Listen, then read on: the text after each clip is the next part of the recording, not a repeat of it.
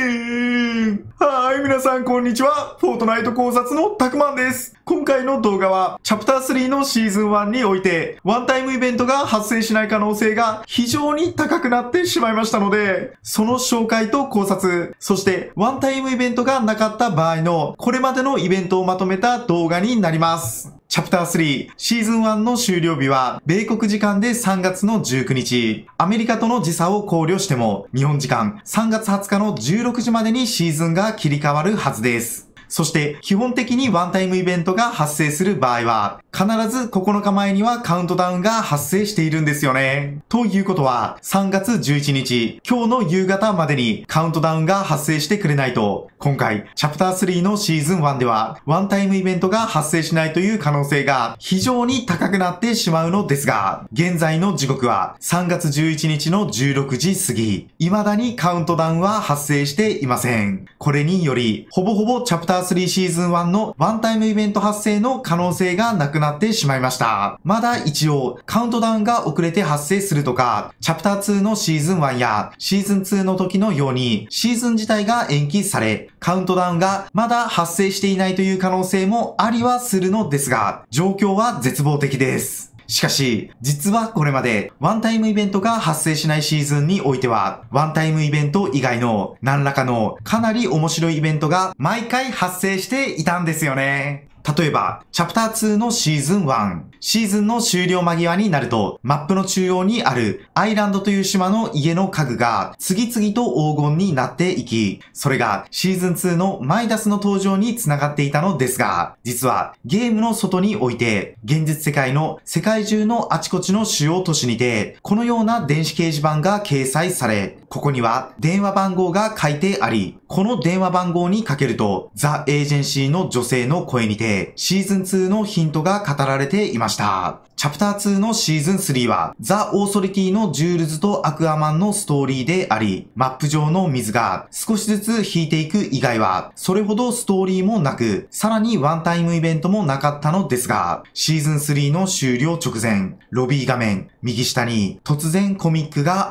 現れ、ここで毎日ページが更新されていました。このコミックでは、ギャラクタスがチャプター1シーズン10での0ポイントの爆発エネルギーを検知し、その0ポイントのエネルギーを星ごと食らおうとしたため、フォートナイトの住人にその危険を知らせようと、ソウがギャラクタスより先回りしてやってきてくれるのですが、フォートナイトの世界にやってきたソウは、0ポイントの影響により、記憶を吸われそうになってしまい、いやらしい顔をしている、ジョンジ一味にショットガンを撃たれたり、散々な目にあってしまうものの、気合で記憶を復活させ、主婦に連絡し、ギャラクタスに対抗するため、ビフレストを使い、マーベルのヒーローたちを呼び出すという内容のコミック。ソウが最強の武器、ムジョルニアを地面に落とすと、フォートナイトのマップ上の地面もえぐれてしまうというようなマップ変化も起こっていました。チャプター2のシーズン5では、ギャラクタスにエネルギーを吸われてしまったゼロポイントが不安定化し、それを安定化するためにジョーンズが動くのですが、ワンタイムイベントが発生しない代わりに、チャプター2、シーズン6の開始時、ゼロクライシスという3分ほどあるイベントムービーに加え、我々ルーパーがエージェント・ジョーンズとファウンデーションと共にゼロポイントを安定化させるという参加型のイベント。このイベントでは、エージェント・ジョーンズが IO を裏切って、セブンに助けを求めるなど、ストーリー的にも非常に濃ゆい内容であり、さらにこのイベント内では、ゼロポイントのエネルギーにより、フォートナイトの過去の姿が映し出され、そこではゼロポイントを崇拝している謎の人物や悪魔崇拝として崇拝されていた土星が超ドアップで映し出されるなど、今後のストーリーに関わるであろう重要な伏線も隠されていました。また、ゼロポイントがハスの花を咲かせたことにより、ゼロポイントが花の種のような存在であるということ、ゼロポイントのインフィニティブルームや裂け目の蝶であるコンバージェンスを持っている鬼の一族のフェードがゼロポイントと関係の深い人物であることなども判明しましたが、これらについても、まだまだ伏線が回収されていません。土星とキューブと悪魔崇拝の関係は、実際の都市伝説とも繋がってきていて、かなり面白そうな伏線となっていますので、気になる方はぜひ、この辺の動画も見てみてください。そして、チャプター2のシーズン6でもワンタイムイベントが発生しなかったのですが、意味深なクエストによるエイリアンの示唆、マリのラジオによる UFO の伏線、そしてミステリーサークルの出出現などとともに、世界各国の有名な配信者などに UFO やミステリーサークルの映っている DVD や何か暗号が隠されている。ポスターが送られていました。これについてはあまり日本では話題にならなかったのですが、海外ではこちらの映像などかなり盛り上がっていました。このようにワンタイムイベントがなかったこれらのシーズンではワンタイムイベント以外の何かしらのイベントが発生していましたので、ワンタイムイベントがないならないで何か楽しいイベントが行われるはずです。また、チャプター2の時もシーズン1はアップデートも少なく、ワンタイムイベントもなかったのですが、チャプター2のシーズン2になると、アップデごとのマップ変化もたくさんあったし、大きなマップ変化もたくさんあり、めちゃくちゃ人気のあるシーズンとなっていましたので、チャプター3のシーズン